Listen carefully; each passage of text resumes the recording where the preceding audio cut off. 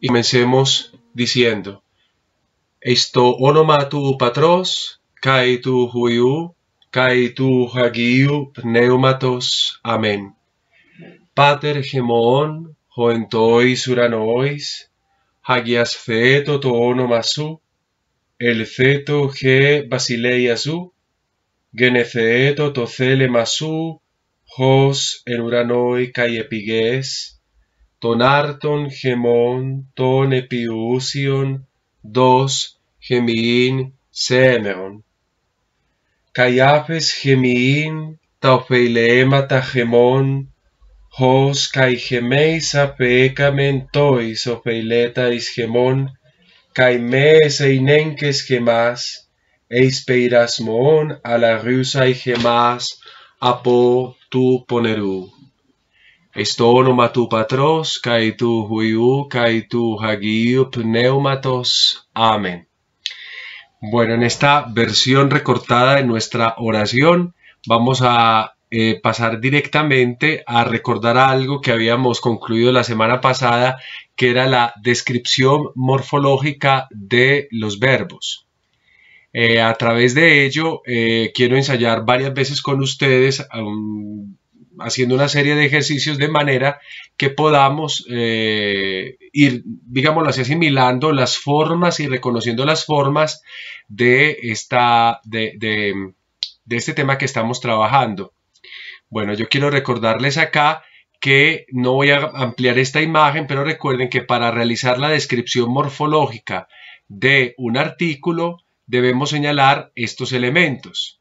La categoría gramatical, el caso, el género, el número, de dónde proviene y qué traduce.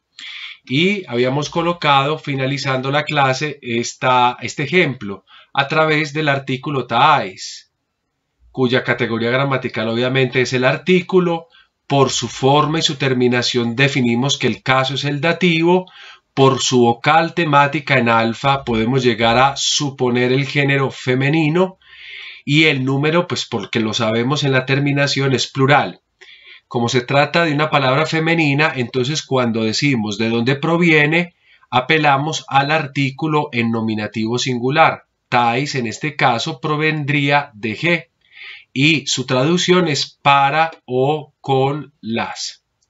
Diciendo esto, entonces yo voy a, a, pasar una serie de, como hicimos en la última clase, una serie de, de imágenes eh, le voy a pedir el favor a algunos de ustedes como para que viendo repasemos y asimilemos esas formas de manera que nos ayudemos también a la memorización. Y que cuando las veamos dentro de un texto eh, ya podamos irla reconociendo como con más facilidad. Y con esto eh, habremos estudiado nosotros la morfología del artículo y enseguidita, inmediatamente a este ejercicio, comenzaremos con otro ejercicio también interesante que es eh, saber cómo funciona el artículo dentro de dentro de la lengua griega, que es la lengua que estamos todos nosotros estudiando.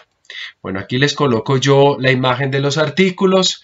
Em, quiero pedir el favor para ir realizando este pequeño ejercicio a, a Betancourt Mármol Andrés, si está por ahí, que si está ahorita, para que me ayude. Andrés Betancourt, ¿me puedes ayudar, hijito?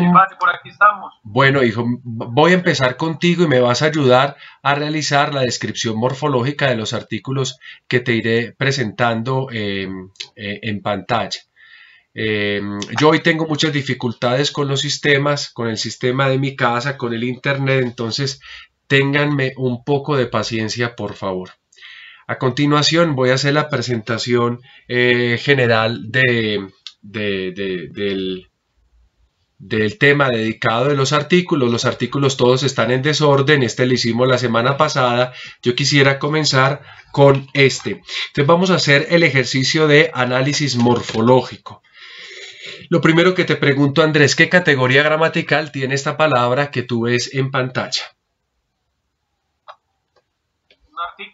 Bravo, es un artículo. ¿Qué género tiene este artículo? Es un género, es masculino, puede ser masculino o puede ser neutro. Bravo, ¿en qué caso está? En dativo, En dativo, muy bien. ¿Y qué número es? eh, singular. Bravo. Entonces, ¿de qué podría provenir? Eh, de- proviene de... Me recuerda, padre, esa partecita. el- Sí, de- debe provenir de un artículo en singular, del artículo en nominativo singular. Tú ahorita decías que el género puede ser masculino o puede ser neutro. Entonces, a partir de eso, ah, ¿de qué artículo al masculino singular proviene toy? Sería o o to. Bravo, ho o to. ¿Y qué traduciría en este caso?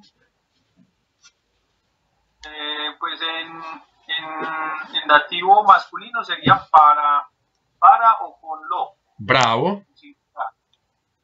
Y, y el otro también, pues el neutro también sería como lo mismo, ¿cierto? Eh, en, el, en el masculino, perdóname, que acabas de decir sería para o con él, porque es masculino. Pero en el neutro, en el neutro sí haríamos la traducción para o con lo. Bravo. Ahora le voy a, gracias Andrés, Te voy, voy a pedirle el favor a Luis Eduardo Almarales Vargas. Presente, padre. Hola, mijo, ¿qué categoría gramatical tiene esta palabra que ves en pantalla?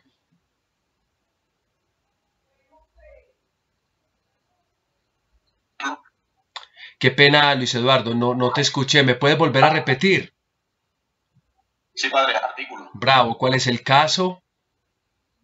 Ese sería dativo ¿Cuál es el género? masculino, Masculino, ¿cuál es el número? Plural. Plural. ¿De qué eh, artículo viene este? Si es masculino. Atención, le- el artículo no lo vas a colocar en plural, lo vas a devolver al singular. Ok, sería hoy. Eso sigue siendo plural, hijo. ¿Cuál es el artículo masculino singular, nominativo masculino singular?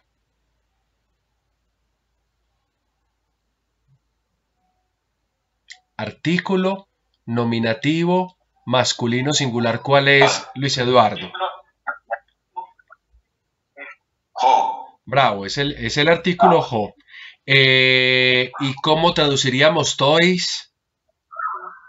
Sería para los o con los. Bravo, muy bien. ¿Hay alguno que quisiera completar algo a la información que ha dado Luis Eduardo?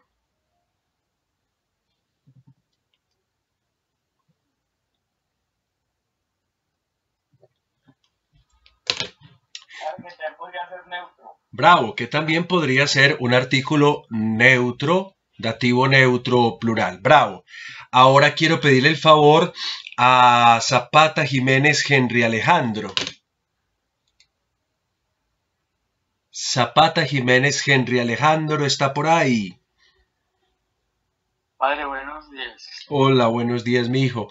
Vamos a hacer entonces el análisis morfológico de este artículo. ¿Cuál es? Eh, ya, pues la categoría gramatical es más que obvia porque en eso es que hemos dicho todo el rato, entonces todos son artículos, pero ¿cuál es el caso de este artículo? Es dativo, padre. Bravo, ¿cuál es el género? Eh, femenino. ¿Cuál es el número? Eh,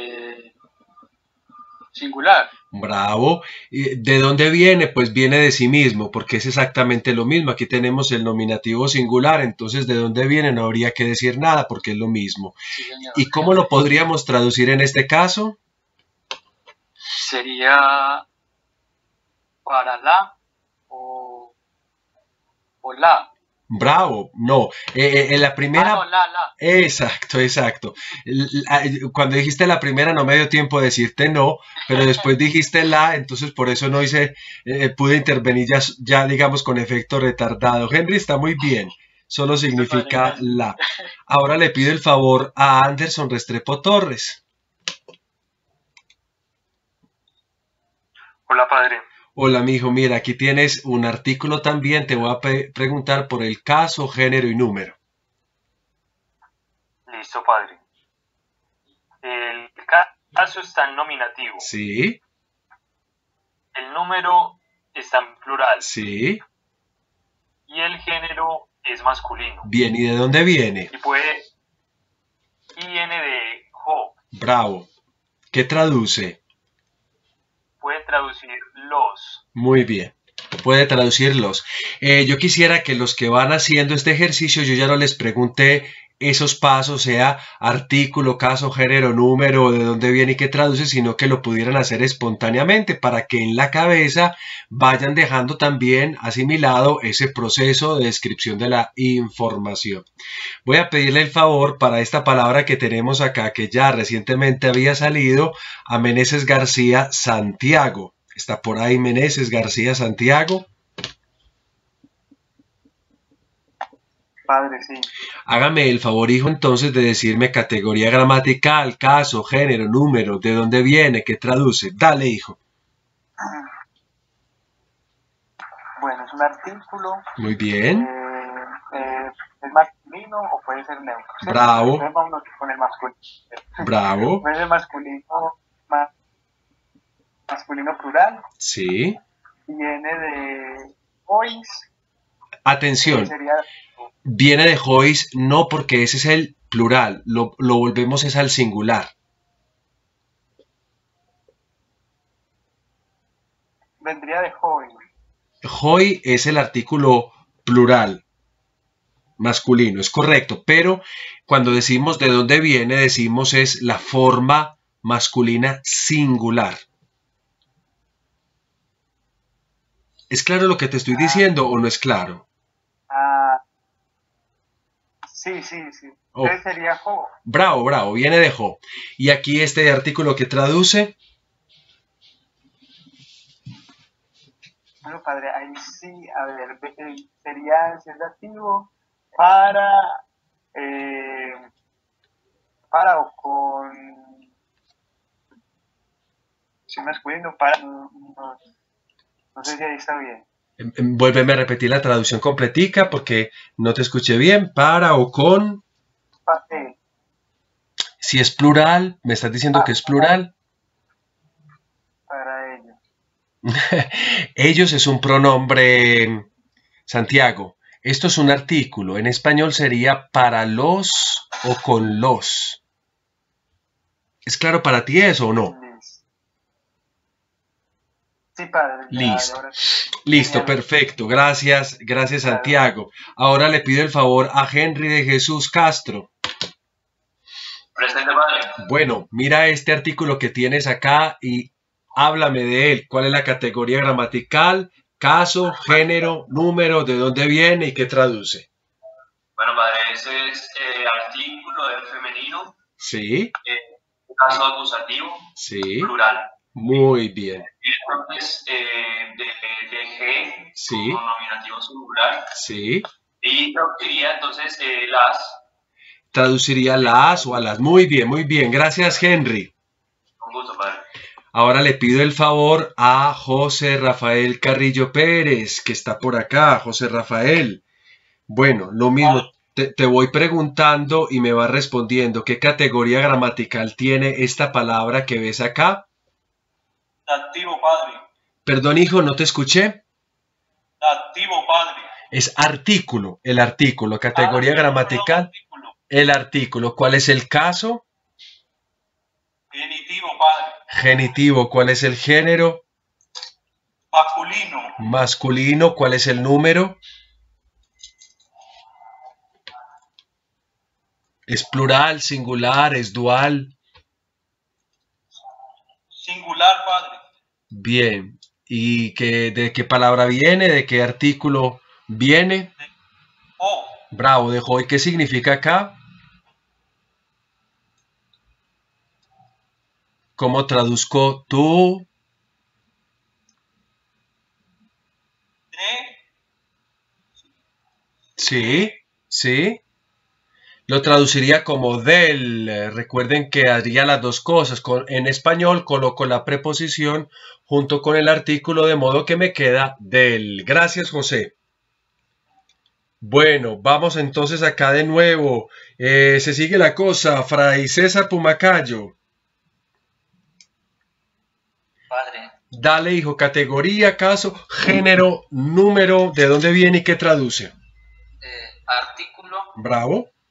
Eh, de los es un artículo neutro, Podría ser eh, plural, artículo plural. ¿Qué caso podría ser? eh, podría ser nominativo, acusativo, Bravo. Entonces, acusativo, nominativo, plural, ¿de dónde viene? eh, de, no, to, eh, to, Bravo, de to. Eh, ¿Qué número es? ¿Es plural o es singular? Qué pena que se me escapó eso. plural, Bien, ¿y qué traduciría entonces? Si, te- si puede ser nominativo o puede ser acusativo. nominativo, eh, sería los o las, Bravo, sería, sería en el neutro los, dependiendo pues de la palabra que tengamos que traducir al español. ¿Algún otro quisiera completar a lo que dice César? Fray, gracias. ¿Algún otro podría decir algo más? También podía ser dual, ¿cierto? Claro, podría también ser un artículo dual que no se utiliza mucho. ¿Y de qué género? Sería neutro, neutro dual. No, no, no. Atención. Ah, femenino, Femenino. Sí, porque si fuera neutro ya la cosa cambia. Eh, sería un femenino dual. ¿Para qué casos? eh, esos son solamente para los directos. Exacto, para los casos directos, sea el nominativo y el acusativo. Eh, Andrés, ¿cierto? Sí, señor. Bueno, ya estoy aprendiendo a reconocerle la voz. Vamos a hacer otros dos y con esto concluimos. Aquí tengo este, le voy a pedir el favor a, a Daniel Múnera Palacio. Padre, Hijo, vamos a hacer lo mismo, categoría, caso, género, número, de dónde viene, qué traduce, dale. categoría gramatical, artículo, Sí, caso acusativo, bravo. género masculino, número plural, proviene de jo y traduce eh, a los. Muy bien, muy bien, muy bien, muy bien, Daniel. Vamos al penúltimo ejercicio, es el siguiente, y le voy a pedir el favor a John Wilmar Cardona.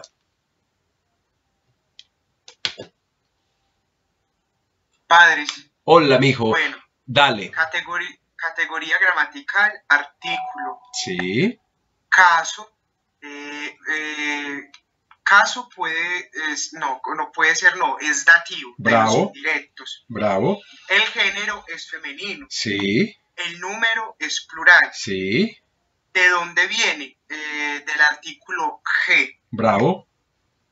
Y ya. ¿Y qué traduce? Ah, que puede traducir para o Muy bien, muy bien, muy bien, John Wilmar.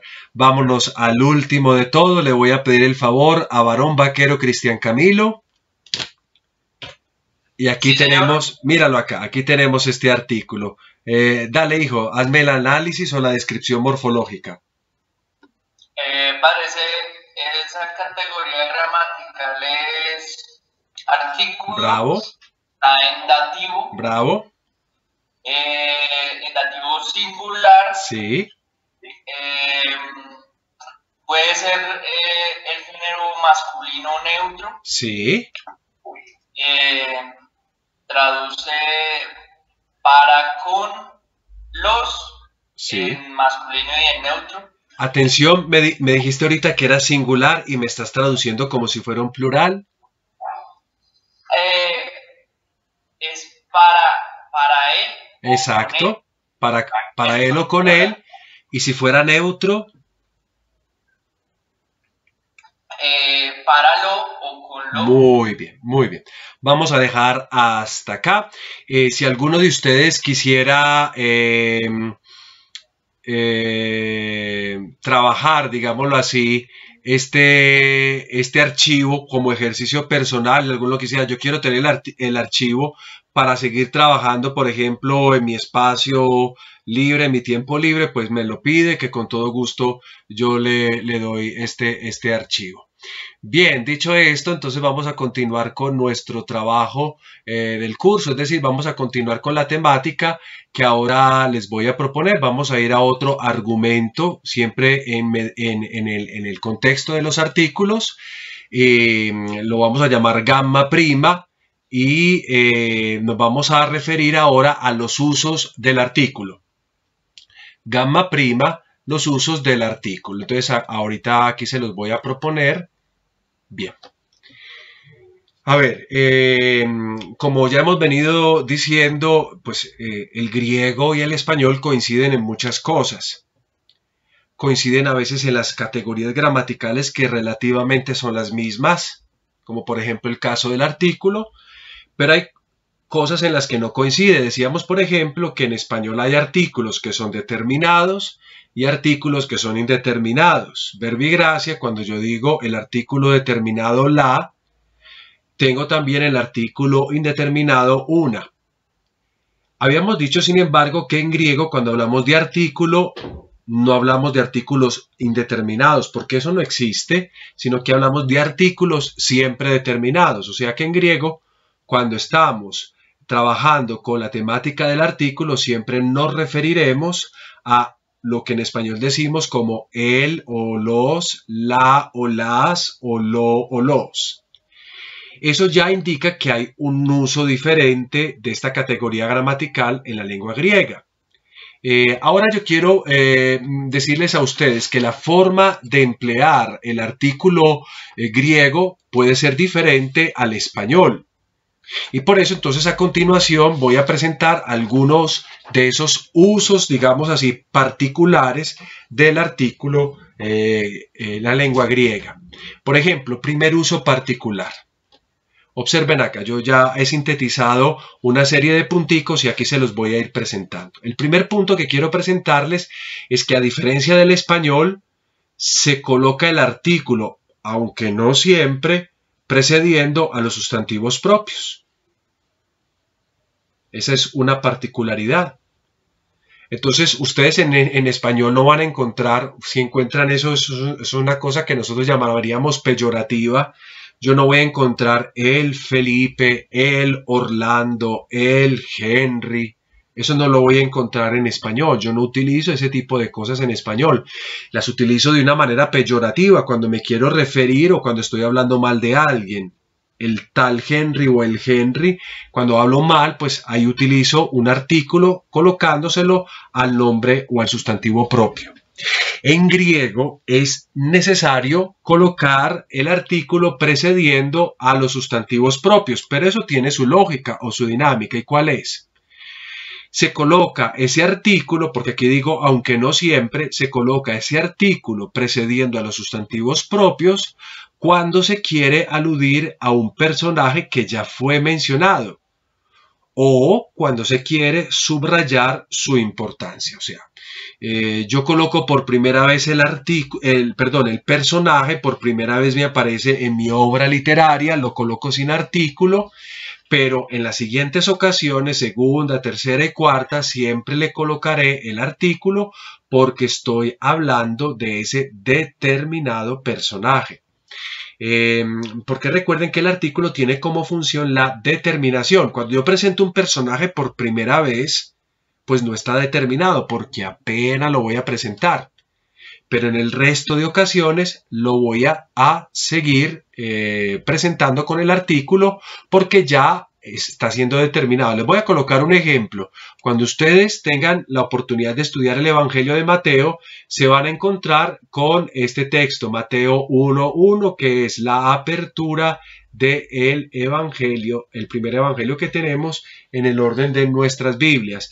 Quiero pedirle el favor a alguno de ustedes, el que quiera, que me lea por favor las palabras que se encuentran en esta pantalla que les estoy presentando a continuación.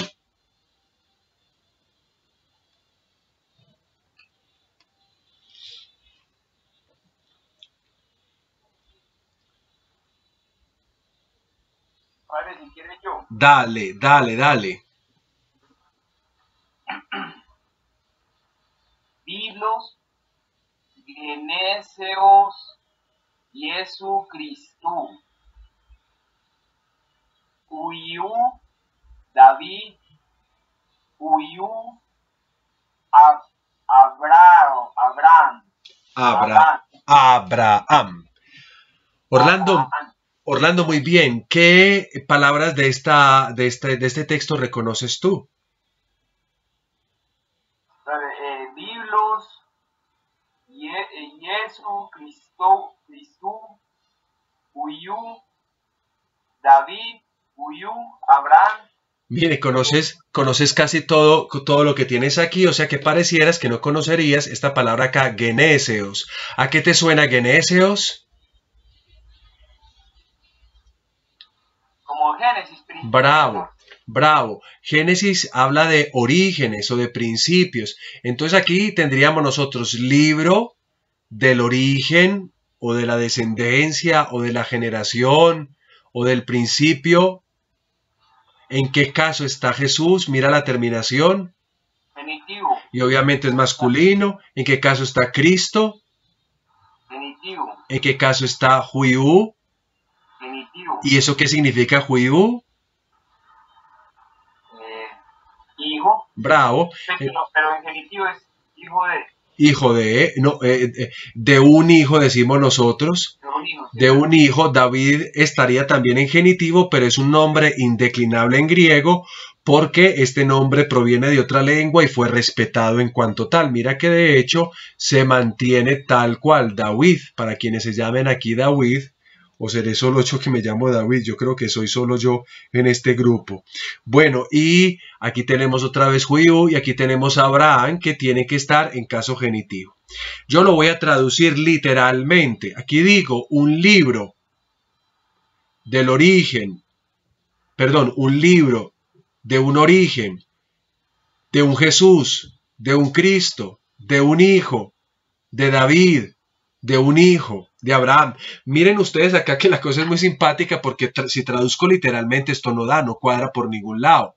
Entonces yo tengo que amalgamar bien las cosas para que la traducción, la traducción tenga un sentido claro, limpio y bonito en español. Yo diría aquí, por ejemplo, libro del origen de Jesucristo, hijo de David, hijo de Abraham. Ustedes eh, dirán, "Mm, esto está como raro, ¿y por qué no le coloqué el de a de un hijo de David a de un hijo de Abraham? Porque en español eso no es necesario. Pero toda esta frase necesitó, miren, todos son un nominativo y de resto todos están en genitivo. Geneseos no lo conocen ustedes porque es una palabra que pertenece a la tercera declinación.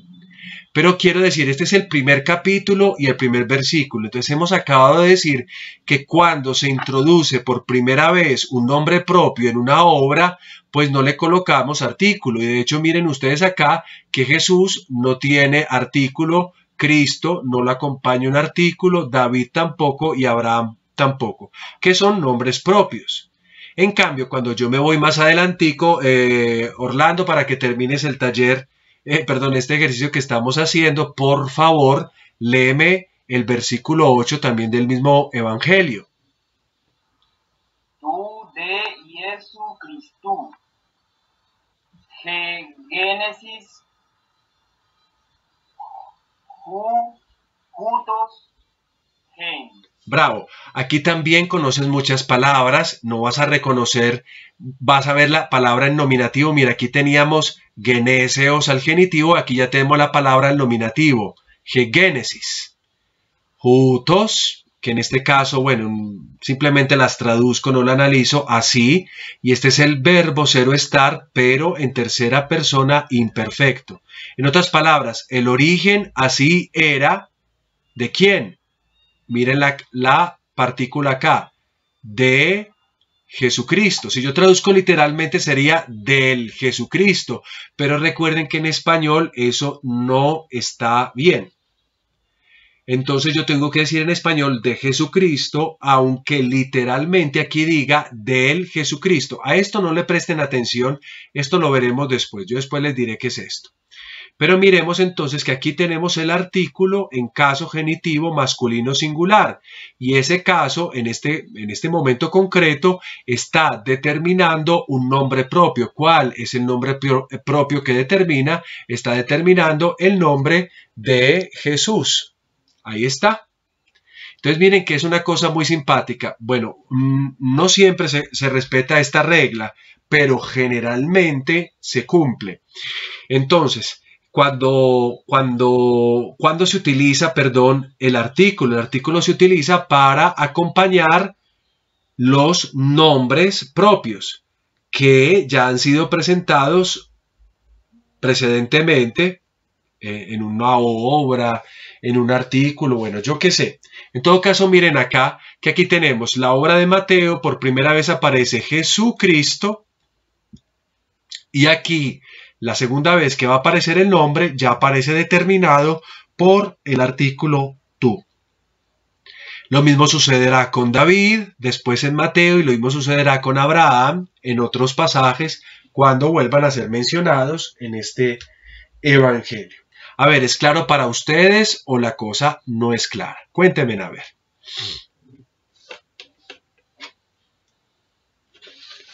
Y aquí no es necesario lo de las comas, en el caso de lo, cuando se nombran arriba en la primera.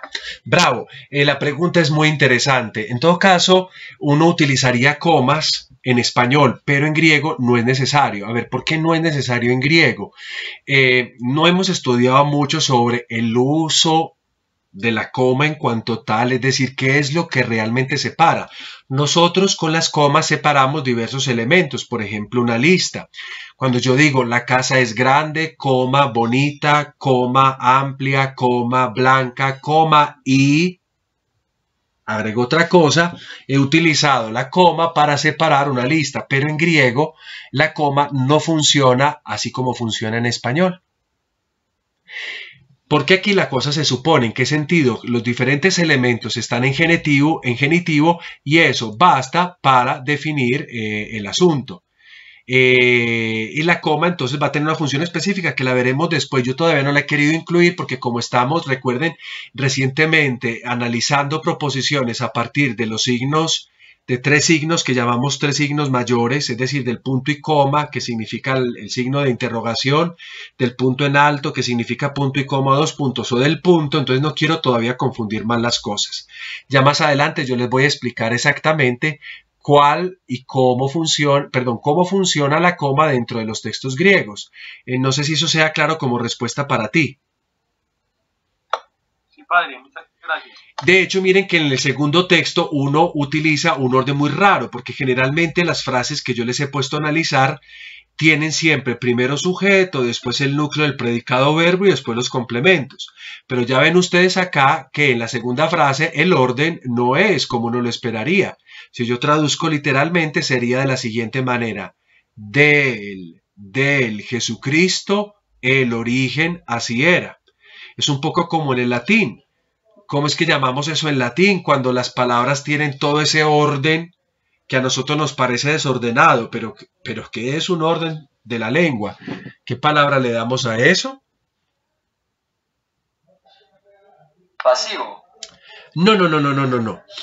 Me refiero al orden que no es el, el, orden correcto de las palabras, el orden que se está, digamos, o sea, en español tenemos casi siempre el orden que es sujeto, verbo y predicados, pero en griego, como en latín, podríamos tener primero el verbo, después los complementos y al final podríamos tener eh, el sujeto o podríamos variar de muchas maneras la frase. ¿Eso cómo se llama? ¿No se acuerdan o no, fue enseñado? La verdad no, no podría yo responder esa, esa pregunta. Eh, ¿Se acuerda de la palabra hiperbatón o no la han escuchado?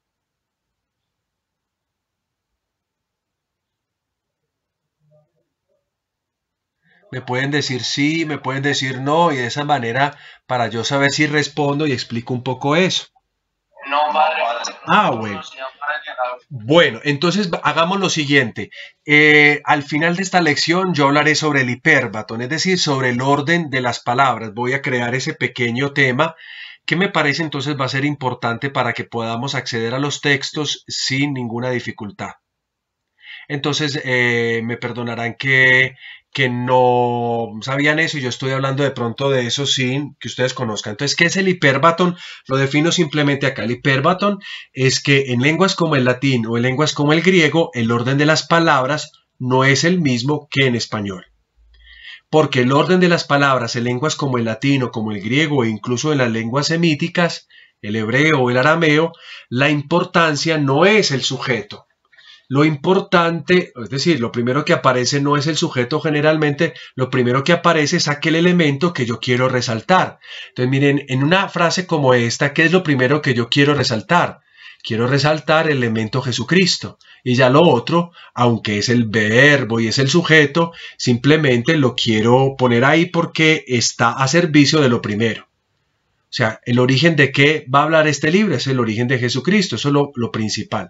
Bueno, después les hablaré de eso más concretamente. Volvamos al tema del artículo, que es lo que nos interesa en este caso. Entonces, cuando el artículo está haciendo referencia a algo ya mencionado, nosotros hablamos de uso anafórico del artículo.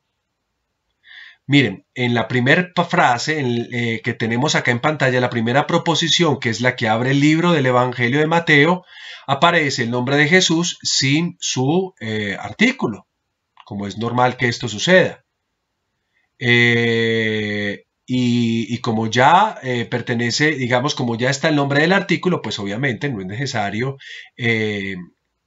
perdón, como aparece por primera vez, no es necesario colocar el artículo, pero en la segunda vez como ya sí aparece un nombre ya mencionado precedentemente, es necesario colocar el artículo.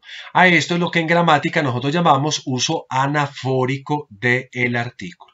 Cuando se lo coloco a un término que ya fue utilizado para hacer referencia a algo ya mencionado.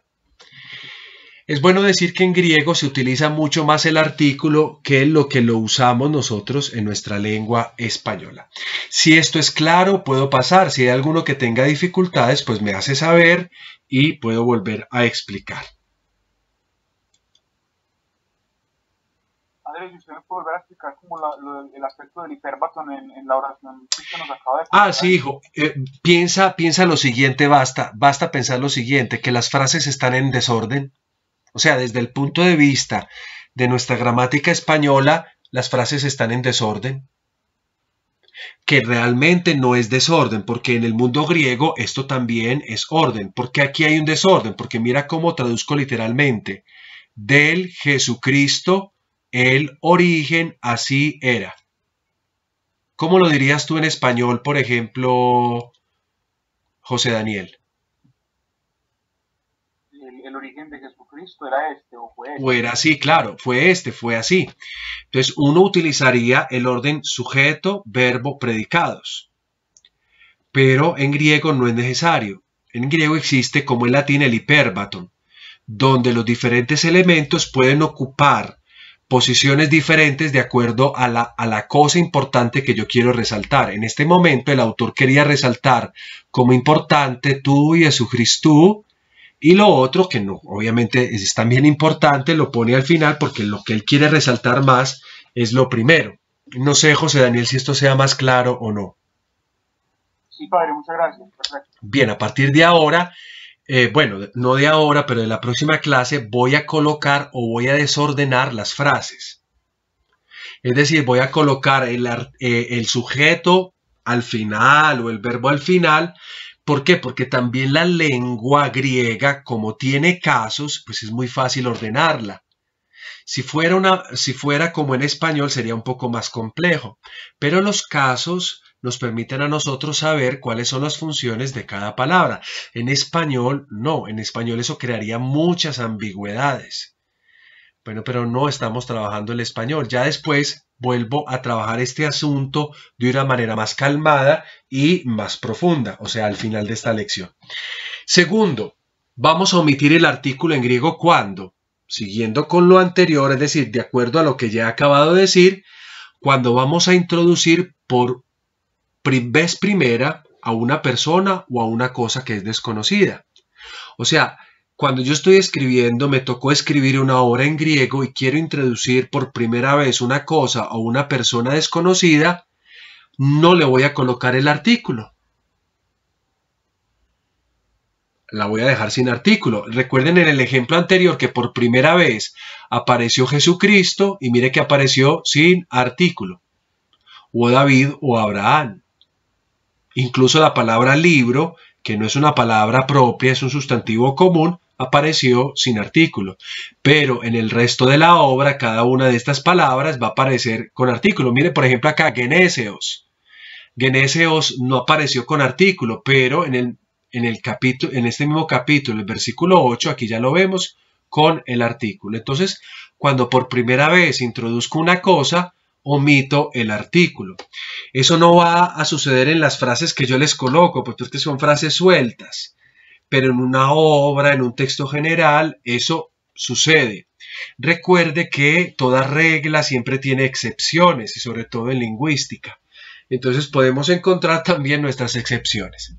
Cuando también omito el artículo, cuando estoy utilizando un término en sentido general.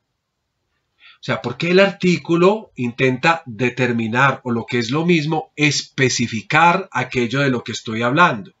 Por ejemplo, cuando yo digo la casa, estoy hablando de una casa en particular, que puede ser la mía, la tuya o la de quien quiera. Entonces, utilizo el artículo para determinar la casa. Pero si yo digo casa, Casa podría ser cualquier cosa, la estoy usando en un sentido general. Entonces en griego sucede lo mismo, omito el artículo cuando o voy a hablar de esa persona o de esa cosa por primera vez o cuando quiero hacer referencia a algo general.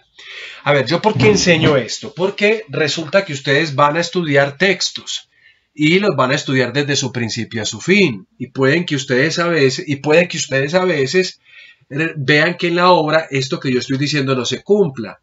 Y entonces cuando vayan leyendo la obra pueden irse percatando de si la persona que escribió la obra lo hizo con sentido, es decir, quiso eh, contrariar las reglas o de pronto no sabía bien el griego y como no lo sabía escribió mal. Entonces así es como nos damos cuenta de si hay un, de si hay un escritor griego que conozca bien o no la gramática, pues obviamente de esta lengua. Voy a colocar un ejemplo para que entendamos todavía más, uno, de tantos ejemplos. A ver, eh, ¿quién me quisiera leer, aparte de Orlando, gracias, que aquí ya te anoté? Eh, ¿Quién me quisiera ayudar con la lectura de este texto que lo voy a tomar de un libro sapiencial de las Sagradas Escrituras, Proverbios 3.13?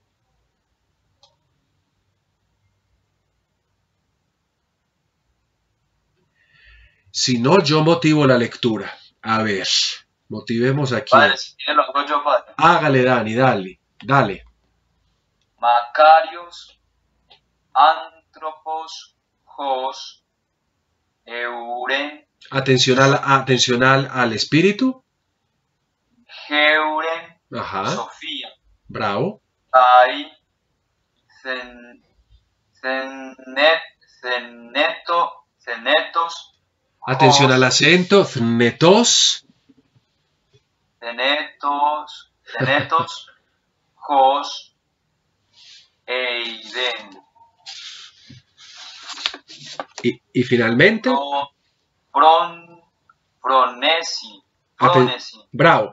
Atención a esta palabrita que te costó. Mira, usted está diciendo cenetos, pero aquí no hay ninguna E, ni una épsilon, ni una eta. Aquí simplemente hay una zeta solita a la cual le sigue una nasal. Entonces yo simplemente hago el sonido de la Z que sería... Bueno, no se escuchará mucho acá porque, bueno, es imposible hacerlo escuchar muy bien. Entonces sonaría como... th, como si estuviera soplando entre los dientes y después hago la nasal. Entonces sonaría así, fnetos, fnetos, fnetos. ¿Se comprende, Dani? Listo, padre. Bien, y atención, ¿qué palabras de aquí reconoces tú? Antropos, Sí.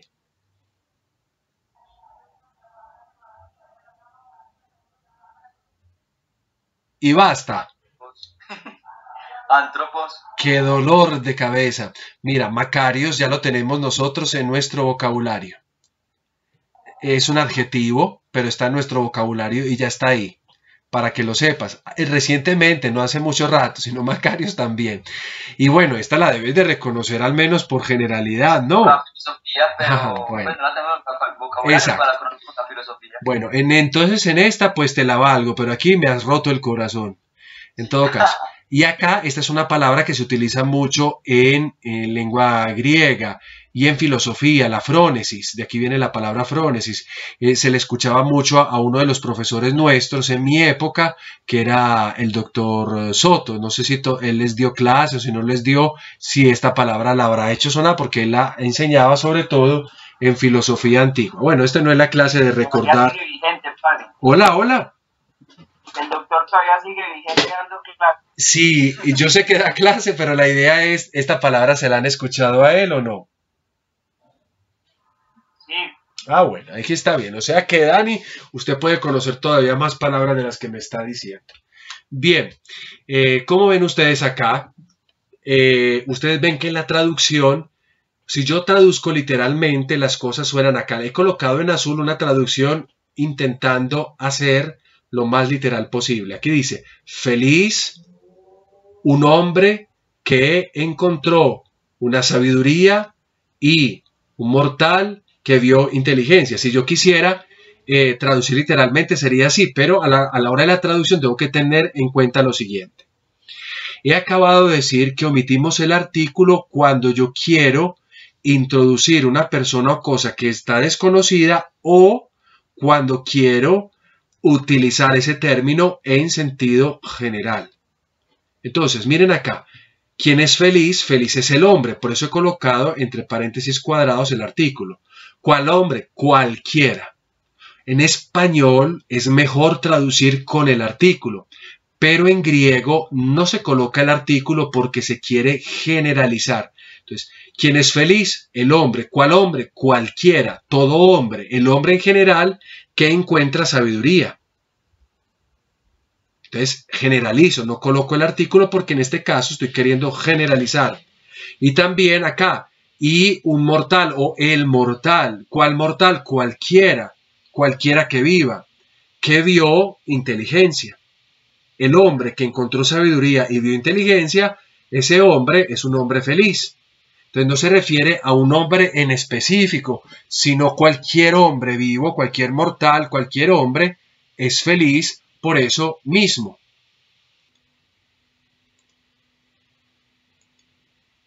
El artículo se usa con menos regularidad, por ejemplo, en ciertos géneros, como en la poesía y el género sapiencial.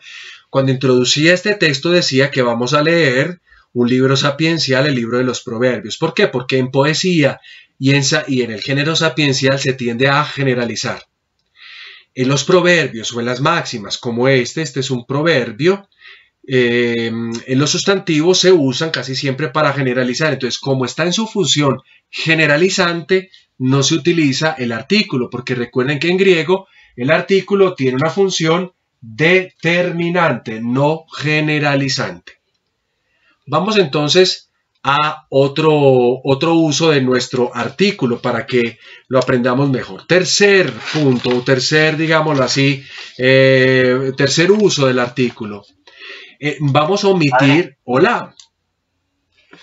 Padre, ¿qué son las máximas? Las máximas son proverbios. Eh, a ver, eh, qué pena si Pipe, a ver, yo, yo trato, déjame ubicarme un momentico porque la pregunta no es sobre el griego, sino que la pregunta está eh, encaminada a un género literario como las máximas. Padre, perdón, mientras me explica, a Pipe puede devolver un momentico la diapositiva. Claro, con todo gusto que la puedo devolver.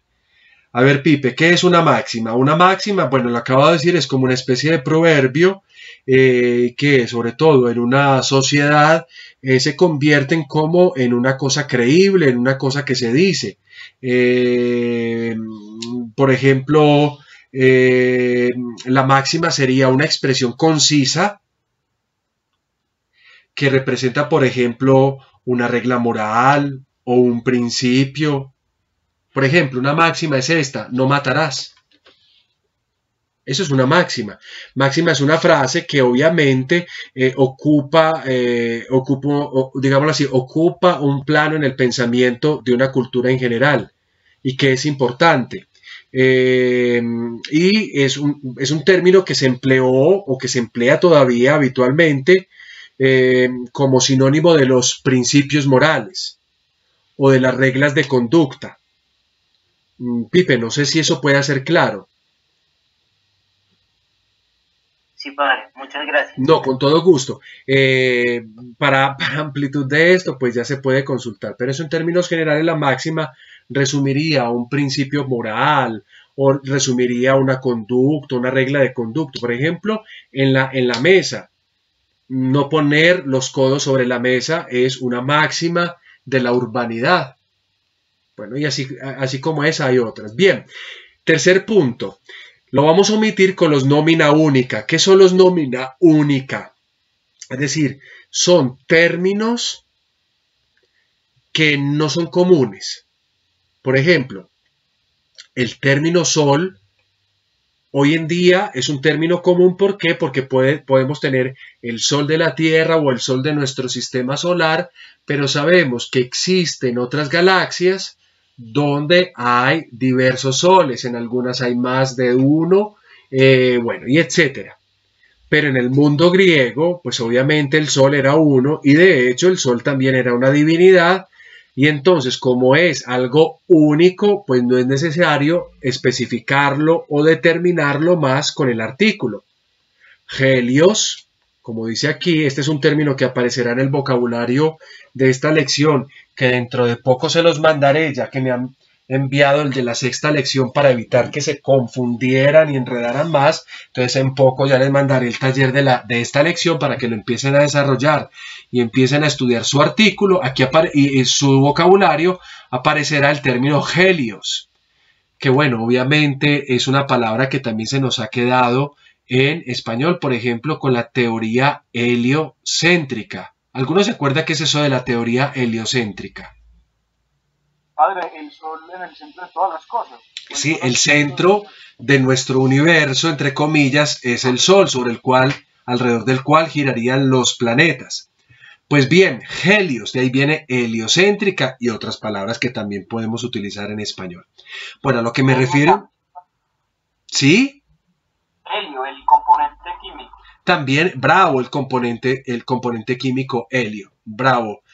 Ahora, miren, eso es un nombre único en griego, no en la lengua nuestra actual porque ya descubrimos que hay varios soles, pero en la lengua, en la lengua griega, helios era un nómina única, es decir, un sustantivo que se refería a eso, solo a eso, y por tanto, pues no se tenía que, que colocar artículo, porque recuerden que el artículo está para determinar la generalidad, determinar un concepto que de otra manera sería general. Bueno, y también con los gentilicios. A ver qué son los gentilicios, así de cultura general. Por ejemplo, decir paisa o costeño, pues no sé si será como eso. Eh, sí, aunque esos son términos más bien culturales. ¿Cómo se le dice? ¿Cuál, es? ¿Cuál es? exacto. Yo nací en Antioquia, soy antioqueño. Orlando, Orlando, ¿dónde es que tú naciste? Perdón. Padre, yo nací en Punto Fijo, Estado Falcón, de Venezuela. Dios mío, ¿y cuál es el gentilicio de la gente que nace allá? Pues yo nunca, pues como el municipio no tenía pues propiamente porque sino que estaba en una región que se llama la península de Paraguaná. Sí. Y allá sí se llama para, algo así. ok, ok, eso está muy bien. Paraguachón. Paraguachón. Ah, es así. No, no, ese no es Paraguachón. Paraguachón es otro lado. Ah, o vea, ya no vamos a pelear por el gentilicio. Ya veo que el gentilicio se comprende. Entonces, en griego, ni los nómina única ni los gentilicios van a, llevar un artículo. En español yo digo el antioqueño, el envigadeño, como lo soy yo, pero en griego no tendría que utilizar ese el. Simplemente diría antioqueño o envigadeño. Entonces, esta es la tercera, digamos, eh, la tercera forma de emplear los artículos. Pues emplea el artículo también. Esto quiere decir que el artículo se utiliza es para determinar, pero como los nómina única y los gentilicios ya son cosas muy determinadas, pues es innecesario colocar el artículo en esta ocasión. Vamos a otro puntico más. A ver, yo tengo una pregunta. Dime. Entonces, en los nómina única no existen los plurales. Eh, sí, los nómina única pueden tener plurales. Ya ahí sería, si tiene un plural, ya ahí habría que ver si es necesario o no el uso del artículo. A ver, Helios, como ustedes van a ver, viene de la segunda declinación, diré Helios, Heliujo. Aunque realmente en griego solamente existía el, eh, el singular, pues puede suceder que aparezca ya para nosotros en otra época diferente un griego en plural, helioi, helioi, es decir, soles. Eso dependería, pero realmente, realmente, bajo esto que estamos diciendo, no tendrían por qué tener plurales. Como en español, hay palabras que no deberían tener plurales. Les propongo una palabra, la palabra gente. Y sin embargo, nosotros escuchamos las gentes. Eh, eso es innecesario porque gente ya es un colectivo. Cuando digo las gentes, ¿qué estoy queriendo decir? Entonces hay palabras que existen dentro de nuestras lenguas que no deberían tener plurales porque ya expresan una realidad o única o colectiva.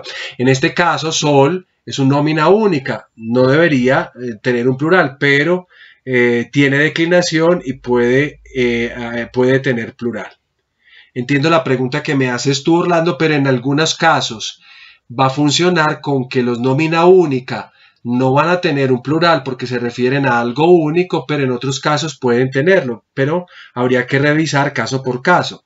Orlando, ¿es claro para ti? Vale, sí. Entonces, por ejemplo, en el griego bíblico puede que se, Dios como sustantivo es una nómina única. O... No, eh, contrario, contrario a lo que se piensa, Dios puede ser Dios o puede ser dioses. En la cultura semítica, obviamente, se llegó a un punto del monoteísmo. Entonces, cuando se habla de Dios, simplemente se utiliza la palabra Dios en singular. Pero cuando se admite la presencia de otros dioses, que también es eh, normal dentro de las sagradas escrituras, pues esos otros dioses se utiliza la palabra Dios y se utiliza esa palabra Dios en sus eh, declinaciones plurales. Pero, por ejemplo, para en el Nuevo Testamento, ¿le colocan artículo para definirlo o simplemente se define como Dios sabiendo? Sí, se le coloca el artículo. Eh, eh, porque realmente piensa que Dios no es un nómina única.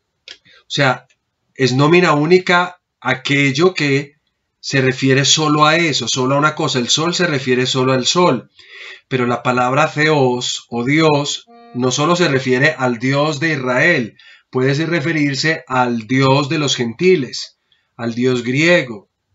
Entonces, como no es en sí un nómina única, entonces, pues obviamente puede tener muchas referencias y va acompañado con un artículo, el que sea, porque la palabra no es nómina única. Pero entiendo la pregunta, la pregunta tú la refieres es como al monoteísmo absoluto, es decir, el Dios de Israel, pero pero es de Israel y como es de Israel, pues no es, no es, nómina única. En cambio, el término sol es un término para un cuerpo celeste o un astro, digámoslo así, que se refiere a una sola cosa y no hay variables en esa cosa y por eso se le dice nómina única. Ah, ok, comprendo. bueno, muchas gracias. Padre, dime. Eh, el de los de punto fijo es punto fijense. Ah, bueno, mijo, gracias. Punto fijense, tú eres punto fijense. Vamos a un cuarto punto del cual se van a desprender otros dos y que explicaré ya para finalizar la clase. Mire, puede suceder que el artículo no esté en concordancia con ninguna otra palabra, o sea, que no esté determinando alguna palabra. En otras palabras, puede ser que nos encontremos un artículo solito, digamos en nominativo, en genitivo, en acusativo, en lo que quieran pero que cuando vamos a buscar en la frase a qué palabra se refieren o a qué palabra están determinando, no encontramos ninguna otra palabra. Eso puede suceder en griego, o sea que el articulito esté solo. En esa situación, atención, el artículo podría estarse comportando en su función primitiva.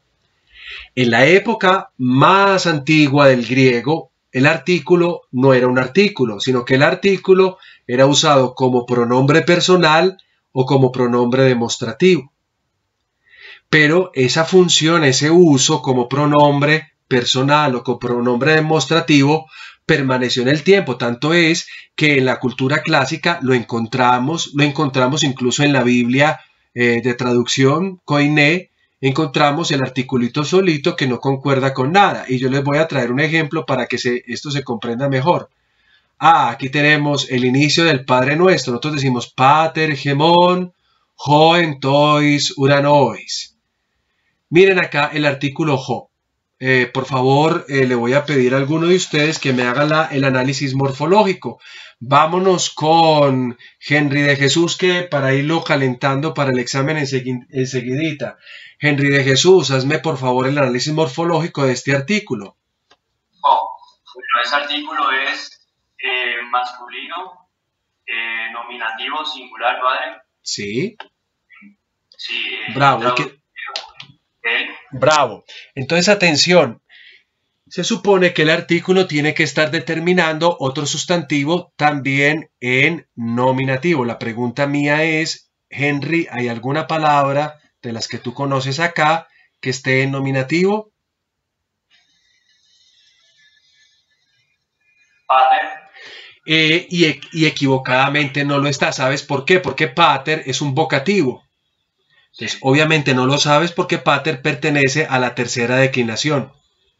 Entonces, te digo que pater no está en nominativo, sino en vocativo. ¿Qué otra palabra me podría quedar? En nominativo.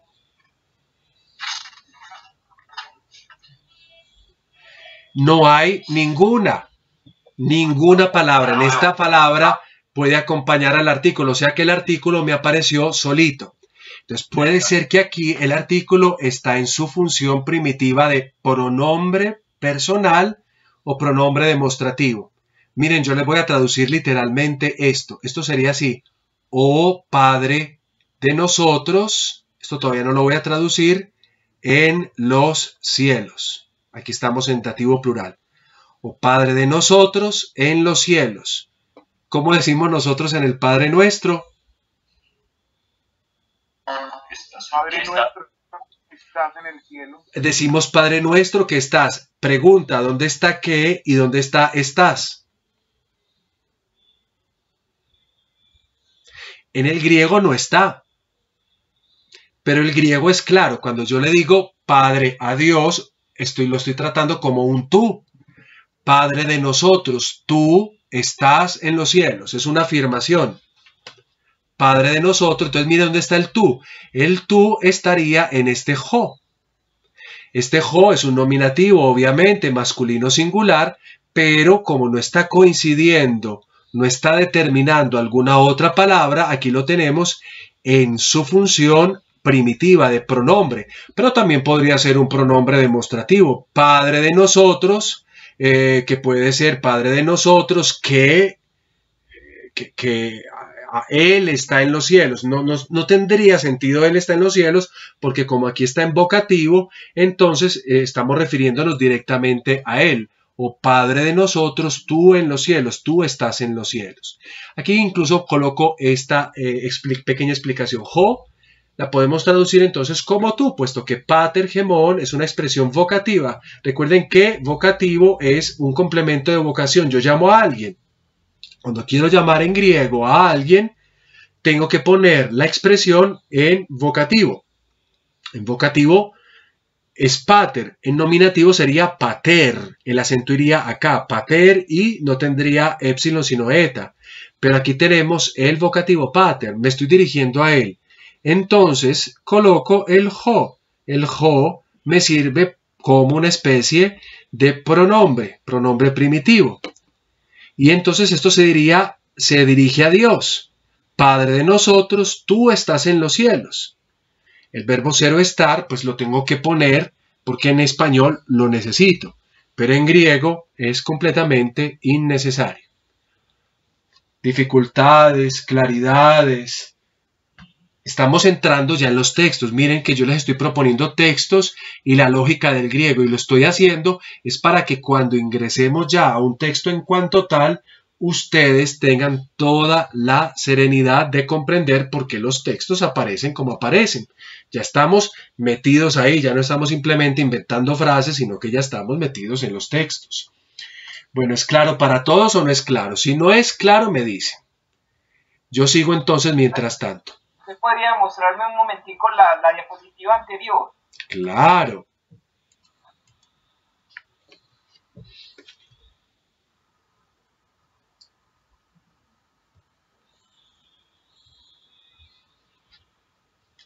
Ya te la mostré. Ahora me quieres decir algo. Era para tomar una cosita que no había logrado apuntar. Ah, bueno, bueno, claro que sí. Quinto punto. Conectado con este cuarto punto, un quinto punto, faltan solo dos y concluimos. Quinto punto es el siguiente. A veces aparece el artículo masculino plural hoy y aparece solito. O sea, no aparece determinando otra palabra que esté en nominativo, que esté en masculino y que esté en plural. En este caso, el artículo también puede funcionar como lo dijimos anteriormente, como un pronombre personal o como un pronombre demostrativo. O también muchos autores suelen traducir ese artículo solito que no está determinando nada con expresiones como las personas o los hombres, las personas o los hombres. Entonces, miren, es siempre, siempre un uso, un empleo que se desprende del anterior. A veces me aparece hoy solito, o sea, estoy especificando, me puede aparecer cualquier artículo sin determinación alguna, pero cuando aparece hoy, es decir, el masculino plural, eh, que también lo puedo traducir con un artículo, perdón, con un pronombre personal o un demostrativo, muchos autores prefieren traducirlo con el término personas o los hombres. Lo voy a colocar acá en un ejemplo que se entienda todavía más. Eh, ¿Alguno que me lo lea, por favor?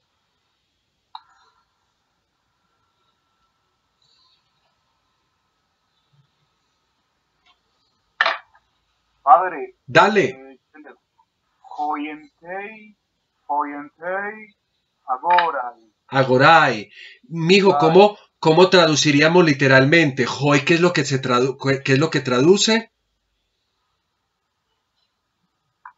Es el plural de, de, él. sí. los. los. Esta preposición traduce lo mismo, los, en, y lo otro, ¿cómo lo traducíamos? De, ahora,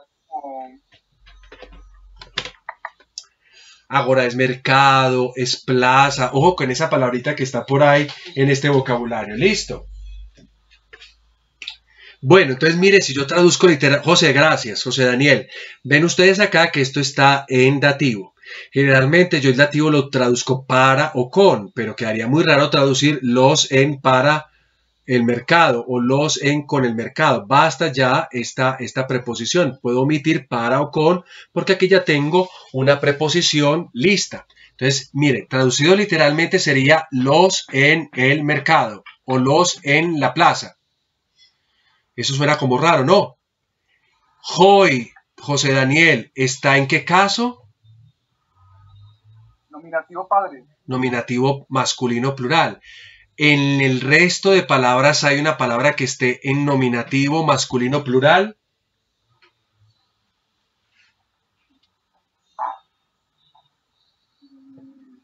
No. No, no la hay. O sea que hoy no está determinando a nada.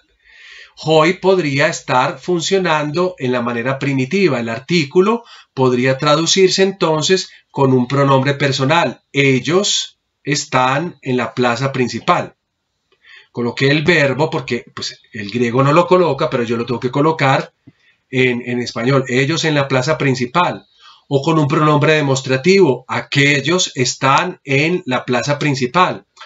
O a los autores les gusta traducir con la expresión las personas están en la plaza principal o también los hombres están en la plaza principal, a cuento de que hoy es masculino plural. Cualquiera de estas traducciones es legítima y la mejor es la que resulte eh, de acuerdo al contexto. Aquí tienen esta, esta función. Y finalmente, ah, no, finalmente no, perdón, voy a interrumpir acá, me queda una última función, un último uso, que ya lo veremos la próxima semana en clase. Eh, y retomaré, por si alguno tiene dudas al respecto de esto, retomaré este, este, este aspecto que estoy trabajando en este momento acá, por si alguno quiere hacer alguna pregunta que la tiene en este momentico, la nota y lo la abordamos en la próxima clase.